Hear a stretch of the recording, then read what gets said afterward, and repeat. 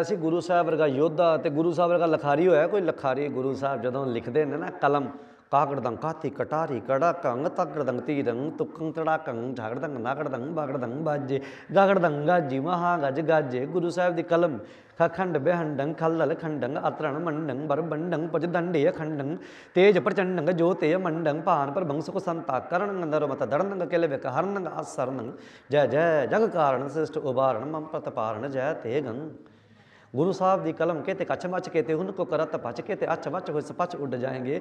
ਕਿਤੇ उड़ जाएंगे ਅੱਛ नब बीच ਕਰਾਂਗੇ, ਭੱਜ ਕੇ करेंगे भज कहते कपड़ताच हुए पचाए खाए जाएंगे कलम है मेरे पातशाह दी ਜ਼ਫਰਨਾਮਾ ਕਮਾਲ ਇਹ ਕਰਾਮਾਤ ਕਾਇਮ ਕਰੀਮ। ਰਜ਼ਾ ਬਖਸ਼ ਰਾਜ਼ਕ ਰਹਾ ਕੁਲ ਰਹੀਮ।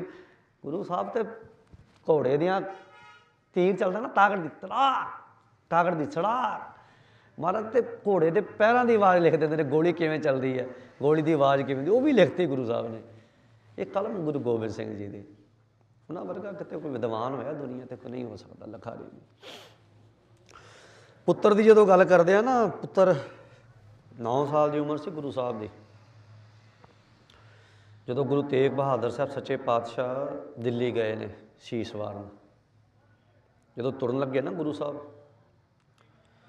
ਜਦੋਂ ਤੁਰਨ ਲੱਗੇ ਤੇ ਗੁਰੂ ਸਾਹਿਬ ਨੇ ਗੋਬਿੰਦ ਰਾਏ ਤੇ ਨਾਲ ਬਚਨ ਕੀਤੇ ਨੇ, ਆ ਬੇਟਾ ਅੱਜ ਮੈਂ ਇਸ ਹਿੰਦ ਦੀ, ਇਸ ਧਰਮ ਦੀ ਰੱਖਿਆ ਕਰਨ ਵਾਸਤੇ ਮੈਂ ਦਿੱਲੀ ਨੂੰ ਚੱਲਿਆ। ਪੁੱਤਰਾ, ਪਤਾ ਸੀ ਨਾ ਗੁਰੂ ਸਾਹਿਬ ਨੂੰ?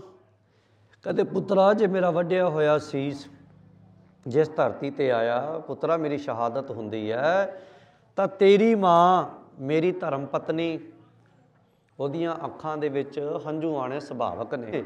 ਮੇਰੀ ਮਾਂ, ਤੇਰੀ ਦਾਦੀ ਮਾਂ ਉਹਦੀਆਂ ਅੱਖਾਂ ਵਿੱਚ ਵੀ ਹੰਝੂ ਆ ਸਕਦੇ ਨੇ, ਪਰ ਪੁੱਤਰਾ, ਜੇ ਮੇਰੀ ਕੁਰਬਾਨੀ ਨੂੰ ਵੇਖ ਕੇ, ਮੇਰੀ ਸ਼ਹਾਦਤ ਨੂੰ ਵੇਖ ਕੇ, ਮੇਰੀ ਸੀਸ ਨੂੰ ਵੇਖ ਕੇ ਪੁੱਤਰਾ, ਜੇ ਤੇਰੀਆਂ ਅੱਖਾਂ 'ਚ ਹੰਝੂ ਆ ਗਏ, ਤੇ ਮੈਂ ਸਮਝਾਂਗਾ ਮੇਰੀ ਕੁਰਬਾਨੀ ਦਾ ਕੋਈ ਮੁੱਲ ਨਾ ਪਿਆ।